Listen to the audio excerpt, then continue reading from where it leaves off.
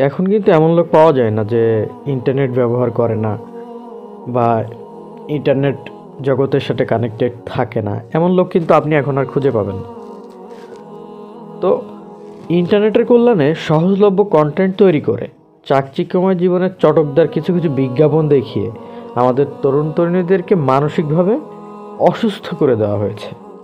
আর এই অসুস্থ করে দেওয়ার পেছনে একটা বড় কারণ হচ্ছে ইন্টারনেট আর এইভাবে করে আমাদের ভেতরে তারা অশ্লীলতা ছড়িয়ে দিয়েছে। এবং গার্ডিয়ানদেরকেও বোঝানো হয়েছে যে ছেলে মেয়েকে দিয়ে লাখ লাখ টাকা ইনকাম করাতে হবে বাড়ি গাড়ি করতে হবে। এরপরে এদিকে বেড়েই চলছে ইন্টারনেট ভিত্তিক ফিজিক্যাল অ্যাটাচমেন্টের ফাঁদ।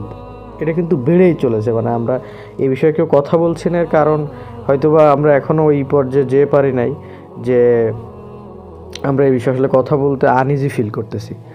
তো নতুন করে তারা পৃথিবীতে আমদানি করছে ইমাজিনেশন একটা ওয়ার্ড এটা তো আমদানি করছে। এই ইমাজিনেশন ওয়ার্ডের ভেতরেও কিছু কিছু জিনিস আছে যেগুলো আসলে এখনও কেউ এক্সপ্লেইন করে না, কিন্তু আবার সবাই ইউজ করে বিষয়টা। এখানে সব কিছুই পাওয়া যায়। আবার আমাদের শায়েকরা বলে দিয়েছেন যে প্রেম সম্পর্ক হারাম। মানে এটা কিন্তু হারাম। বলে দিয়েছে মানে এটা হারামই। তো ওই শায়েক আবার পরিবারকে বুঝিয়েছে যে ছেলেমেয়েদেরকে সবচেয়ে বেশি বেশি পড়াশোনা করান, ডক্টর, ইঞ্জিনিয়ার বানান। এখন বিয়ে দিলেই লাইফ শেষ, আগে বড় কিছু করুক। তো হ্যাঁ ডক্টর, ইঞ্জিনিয়ার এবং উন্নত শিক্ষায় তো শিক্ষিত হতেই হবে।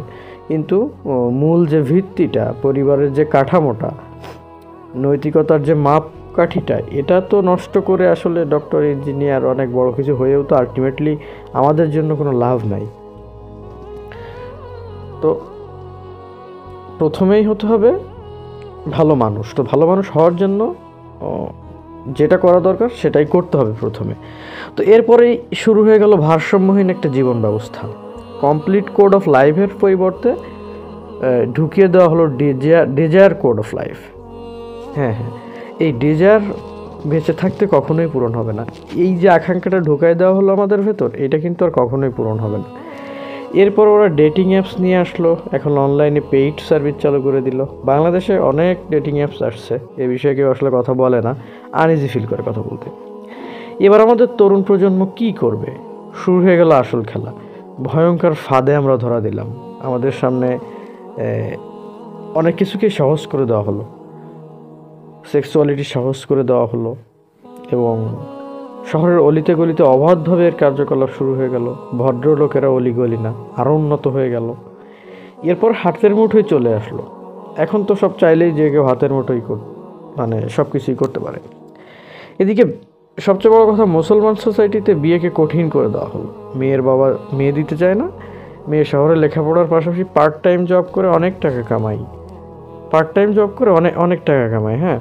আর তার লাগবে হচ্ছে কোটি টাকার জামাই।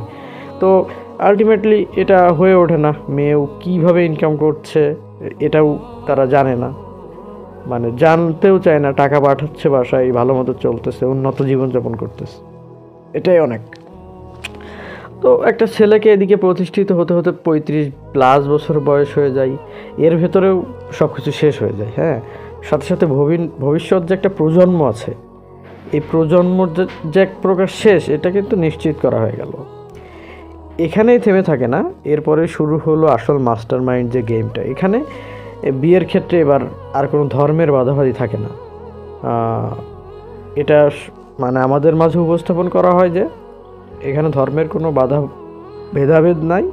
পছন্দ হয়েছে মেন্টালিটি এক। মেন্টালিটি এক। কী কথা বলা হলো দেখছেন? যে মেন্টালিটি এক। হ্যাঁ ঠিক আছে, এরা বিয়ে করতে পারবে। ঠিক আছে, ওই ওই একটা পর্যায়ে ছিল যে যখন তাহলে ধর্মের ভেদাভেদ নেই মেন্টালিটি এক, একসাথে ভালোও থাকবে, তাই বিয়ে করতেছে। তো সেই যুগটাও পার হয়ে গেল, এখন আর বিয়েটা আসলে লাগে না, এখন কেউ করতে চায় না বিয়ে। বলে যে না, বিয়ে এক্সট্রা প্যারা, এত প্যারা নিতে পারব না। হ্যাঁ।